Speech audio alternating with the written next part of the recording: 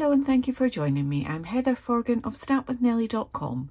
I'm an independent Stampin' Up demonstrator based in the UK.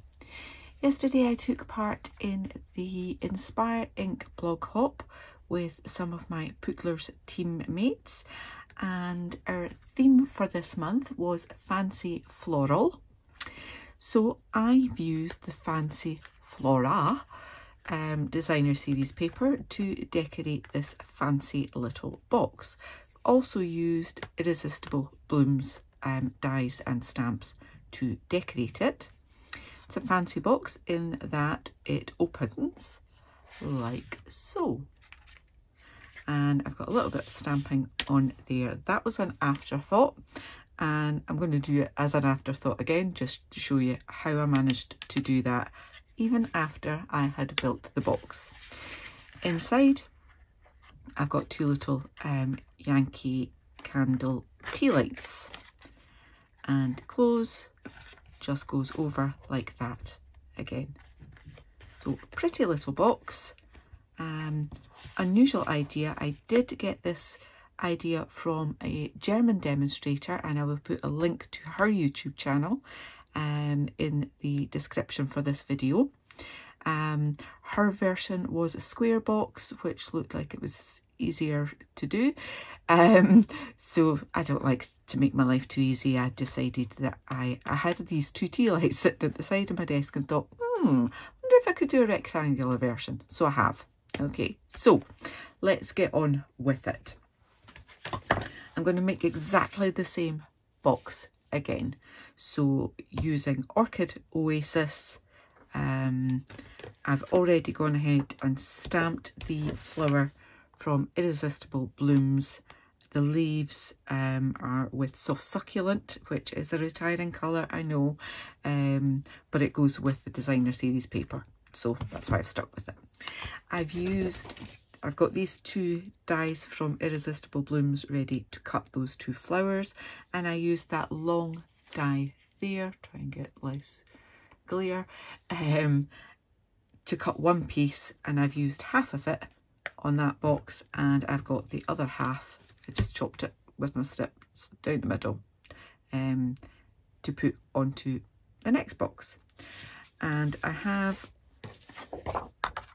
Use the same piece of designer series paper from Fancy Flora. There are loads to choose from. Again, retiring soon.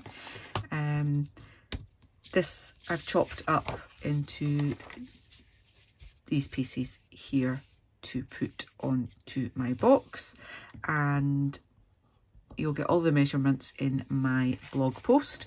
A link to that in the description below. If you're looking for more um, fancy floral inspiration, I'll also add a link to the blog hop in the description. So you can check that out too. Right, I'm going to bring in my Simply Scored. And this piece of card measures eight and three quarter inches by six and three quarter inches and on the long side I want to score that at three quarters of an inch at four inches four and three quarters and at eight inches. Okay turn that around and on the short side score that at three quarters of an inch. Then at two and three quarters and then at six inches. All right, so we actually need to do a little bit of extra cutting and I'm going to bring a paper trimmer in for that. Now we've got a short panel at the bottom and a larger panel at the top okay? And we've got this dissecting line here. I want to cut this line from the edge just to there okay? And to make sure that I've got that at the right place I've got my larger panel um, to the left and I'm lining that up at four inches. And then I'm taking my cutting blade and I'm only going to take it down to four inches. Okay. And if you're a wee bit wary, you can just take it up and check. And then I'm going to take it from the score line down as well. And I've not gone quite far enough there. And just do a little bit more until I know that I've got it just at those two score lines. Okay? Now, this piece here will form the base of the box and this bit here will form the top. But because we've gone rectangular and not square, I need to do another bit of chopping. So let's fold that out of the way and this time line up that same edge. So this is the larger section at the top. Line up that edge at two inches. Well, in fact, I want to do it just under two inches. Okay, and cut that off. And we've got a bit spare. And I want to do the same with this bit. So I'm turning it around and I'll use the bottom of my trimmer to line up, if I had enough room on my desk, there we go, to line that up at two, just under two inches, okay. So I've gone a 16th of an inch under and take that down there. All right, so we've got two pieces that we do not need. Now,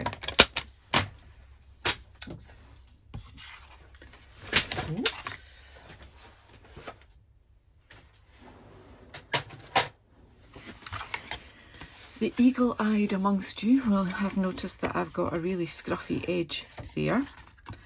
Um, I use a really old, it's hardly got any um, filing uh, left on it, just to run along that edge and take that off. That way I can continue to use my blades a little bit longer before I replace them.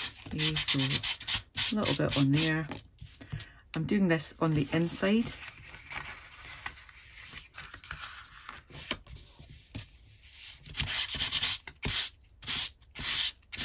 Nobody's going to see it. I'm just using that to tidy up those rough edges. Okay, so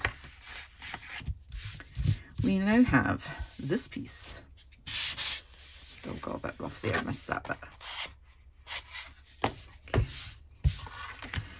We now have this piece and we need to do a little bit of chopping. Okay, so you've got that centre panel there and this is your hinge. Okay. I want to cut that little square in the middle. So I'm cutting straight up either side and then chopping into it like so. Right, take those little bits out.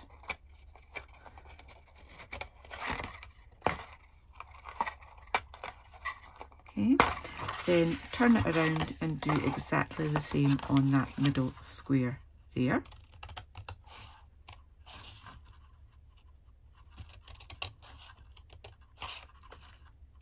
Chop it.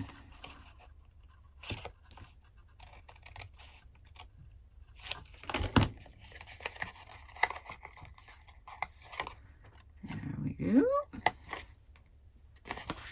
All right, so turn it around the other way again so I can keep myself right.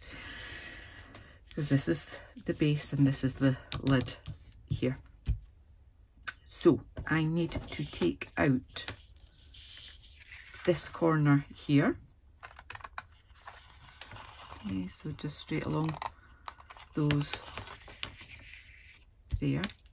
and I need to just wedge this one the same as I did with the middle one. So straight up, little wedge, little wedge. Okay. I'm going to fold this around, so I'm going to take just a tiny little wedge off there. This bit is going to be our tab for joining. So just a little wedge off there. And similarly, this one, just a little wedge on there. Okay, and that way I know which one's which.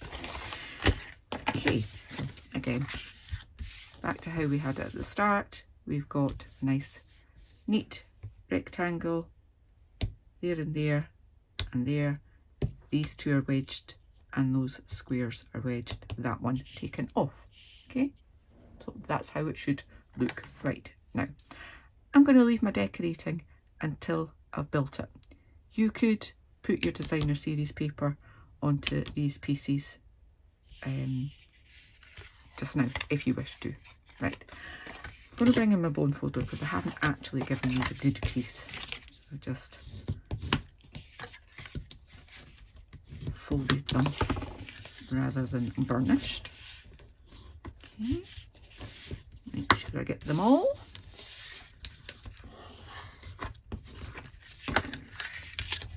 Again, you could do that before you do your cutting if you wish.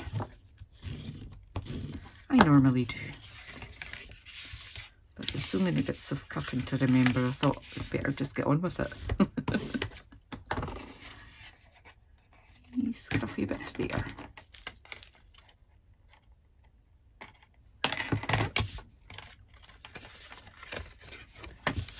And then these, see, like so. Okay, so get a building. Forming the base first. Okay, we've got that tab at the side. So I want to put some glue on this.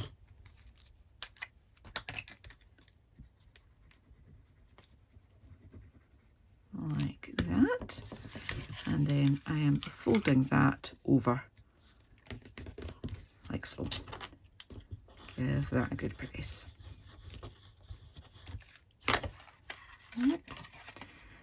Then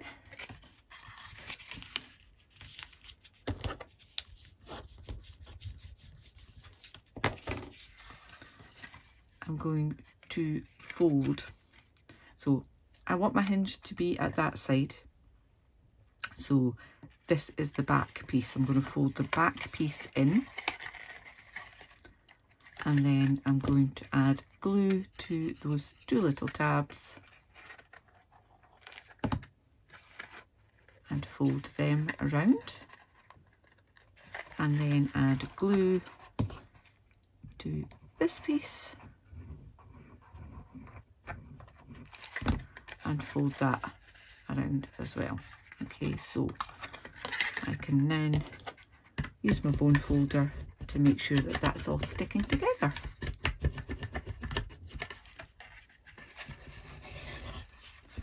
Right All right, so we've got that nice neat base there. I've got a slight overhang on that edge that might annoy me.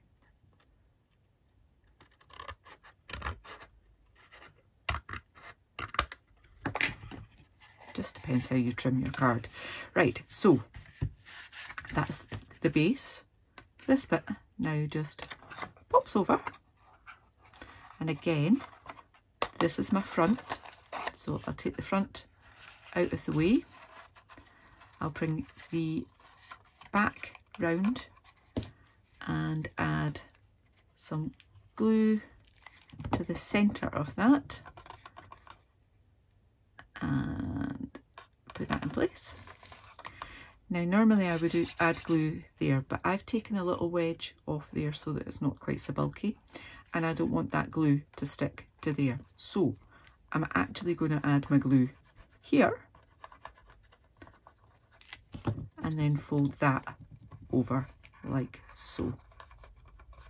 Okay, so I have my box. And now I have to try and get it open again. like that.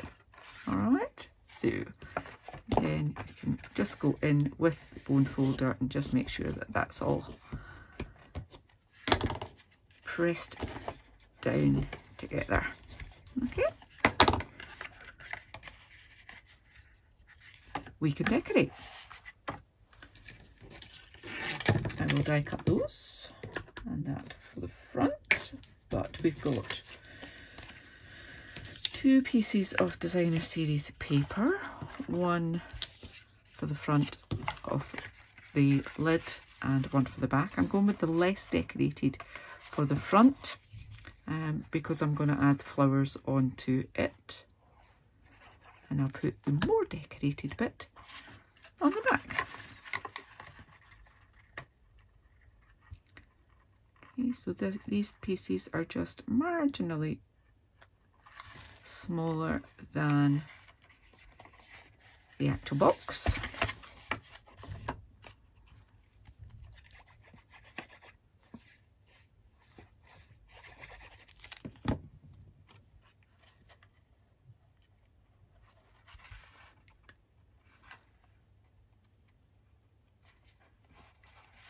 Okay, now I need a piece for on there. As I said, all the measurements for these pieces of paper will be in my blog post. There's a link to that in the description for this video. So we've got that little one there as well. Okay. I've not gone right to the corner with my glue.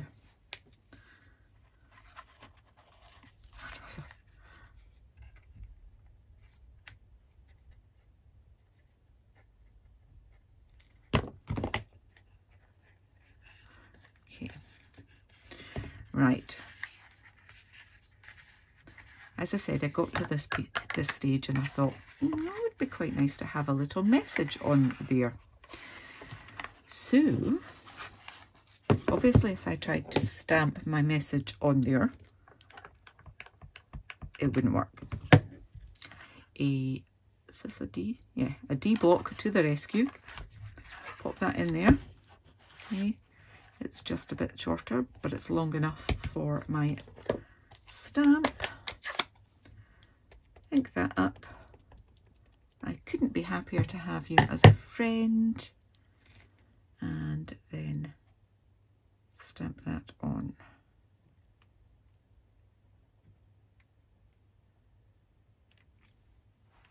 Lovely. And I just added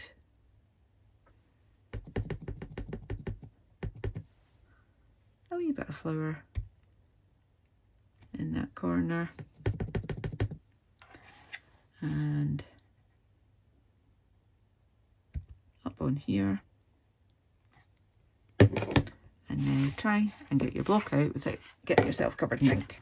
Okay, so we've got that little stamped message on the inside now. I've still got a piece of designer series paper I've forgotten to put on. Oops. The top piece. of it.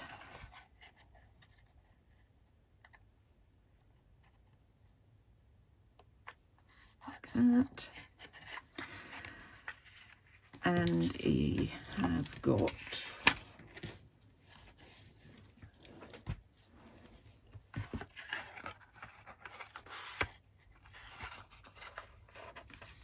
I've got two pieces left. I'm going to put one on there.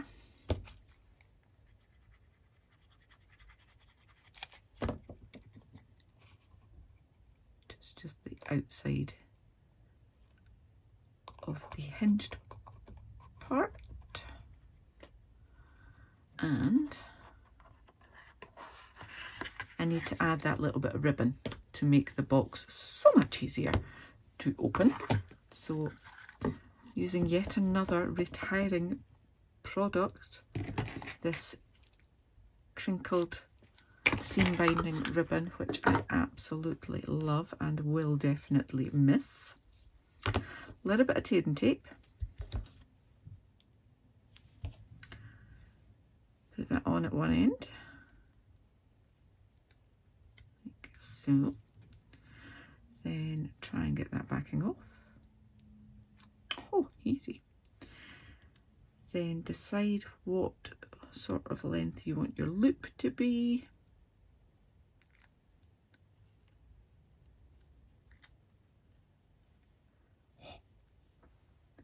Fiddly.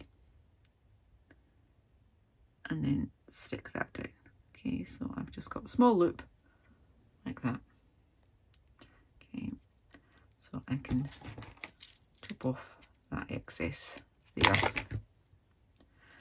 And then just a little bit of tin tape on here.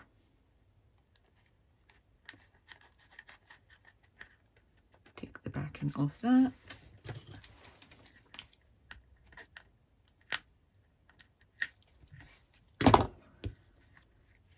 And then add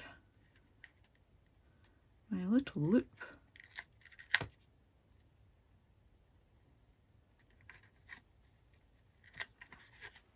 right down at the bottom there. Centred might be nice.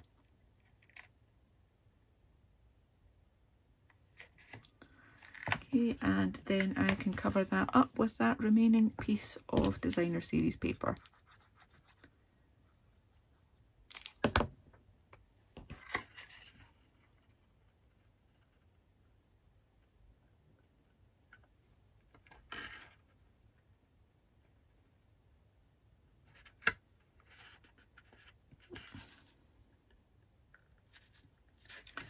Like so.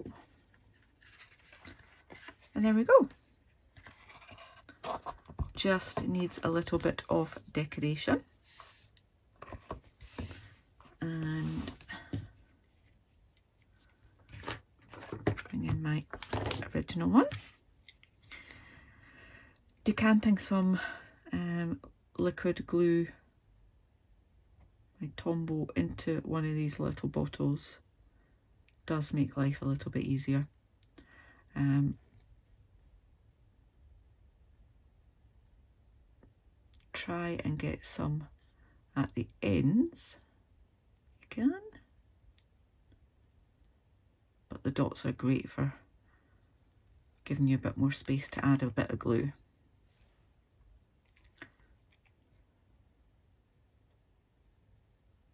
Come on. You know you want to. Oh, come on. I've got another one here. Hopefully it'll work.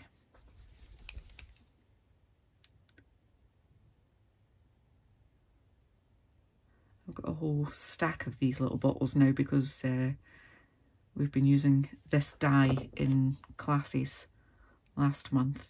Oh, come on. I'm just going to go with it. Just going to go with it. Um, and it was just less mess for everybody if we used a little bottle of glue with these dies. Okay, so I'm going to add my flowers on top and my flowers and leaves on top anyway, so it's not such a big deal. Right, let me just quickly die cut those.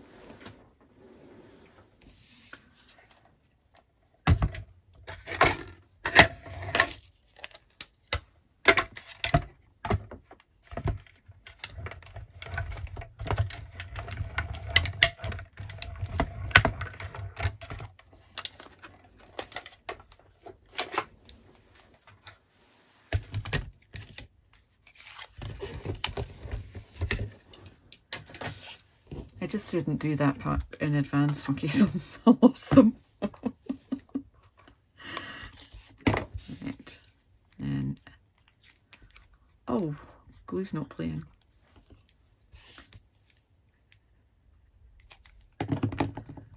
Right, so I'm to pop a leaf on there. That will help those bits stick down. I didn't get any glue on. and then my flower on top. Like so. So there we go. We've got two little boxes with a fun opening and closure. Perfect size for two little tea light candles. Although I'm sure there's lots of little things that you could put in a box like that. I hope you've enjoyed seeing today's tutorial. If you have, please give me a thumbs up and if you've got time, leave me a comment. I'd love to read them. And if you're new to my channel, I'd love for you to click on that subscribe button and the bell and get notification the next time I upload a tutorial. Thank you so much for watching. Until the next time, take care. Bye bye.